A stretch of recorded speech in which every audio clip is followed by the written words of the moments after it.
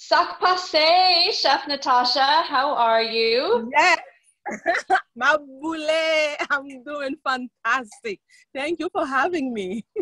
we love your pink outfit and your pink tray. You look so perfect for Rosé Mansion in your backyard. And um, thank you so today, much. Oh, of course. Thank you. And today you're going to teach us how to make a beautiful summer salad with some Haitian Caribbean flavors. Is that true? Yes. And it's really, really a easy salad to do.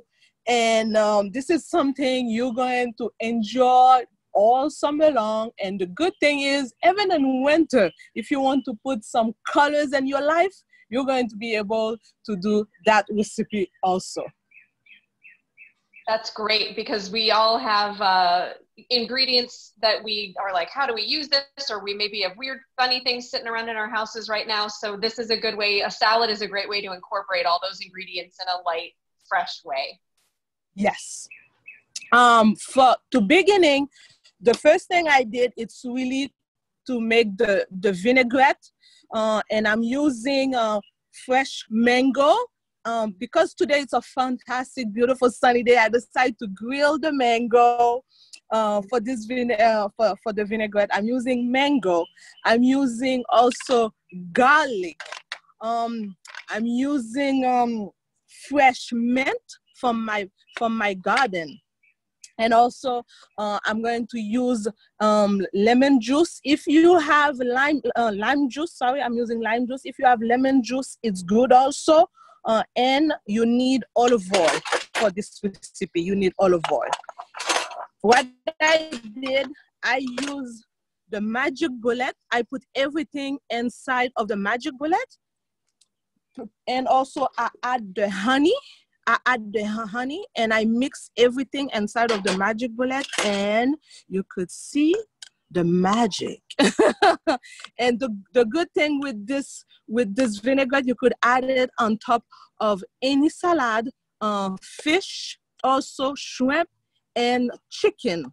I'm telling you, the flavor, it's so flavorful. And this is good, easy on the fridge for one maximum, max, big maximum two weeks. But I'm pretty sure less than one week, you're going to eat all of it. that looks delicious. Do you think that that would be good on like a fish taco? Oh, yes, yes, definitely, definitely. I'm a big fan of those. All right, so you put all those ingredients, and we're going to put up a slide and we're going to put up on social media the ingredient list and the recipe so that you can make this. Um, you don't have to write it down right now, but all mm-hmm. of the mm-hmm. ingredients for that vinaigrette go right in the blender or magic bullet, whatever you have. Yes. And whip it up. Perfect. Now, for the salad, uh, what what I'm using for the salad, I, I hope it's a good angle. I want to make sure you guys could see everything. That okay. Fantastic. I take the the red onion, okay, and I'm adding cherry tomatoes. Okay. You're adding your cherry tomatoes. Cherries bring so much colors, bring so much. I love red. I love colors. That's why like they have no way for me. I will not go do a, a recipe, a salad without using the cherry tomatoes. And and I'm using uh, the avocado I put on the grill. If you have an inside grill, if you don't have a barbecue grill, you have inside grill, this is fantastic too. You could use it. Don't you don't need to cook it too long. It's really you just want to have those mark on it. Okay, you really don't need to cook it too long. And what you do, also you're adding your cilantro or fresh, uh, fresh um, uh, persil. Cilantro or fresh persil, you add it. Is so persil a, an ingredient that you find a lot in Caribbean and Haitian cooking? Yes, yes, we use we use that a lot for flavor. When we marinate uh, a chicken and when we, we marinate all the meat, we use persil a lot. And you need to add salt and pepper on, on, on the salad. And also you adding some olive oil. And I love to add some lime juice. Lime juice, it's really the base of everything I'm doing. I'm adding lime juice on everything.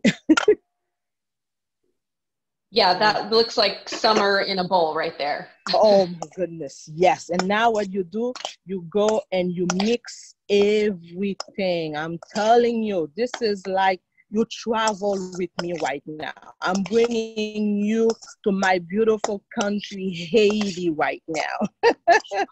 yes, please. We need a vacation. So, food is such a great way to take a virtual vacation if you can't actually travel, like we're all, you know, at home right now.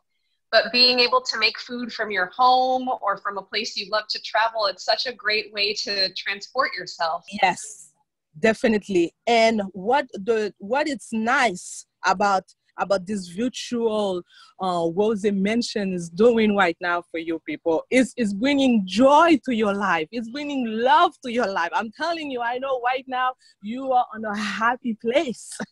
and now, since I'm a pink lover, I have no way I will go without my pink flamingo. oh my goodness.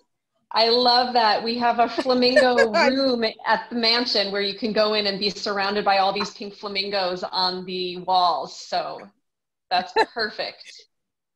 yes, and also I have to confess with you guys, I'm I love going to men uh, was mentioned a lot, but one thing you should know, I don't drink at all. I don't drink alcohol.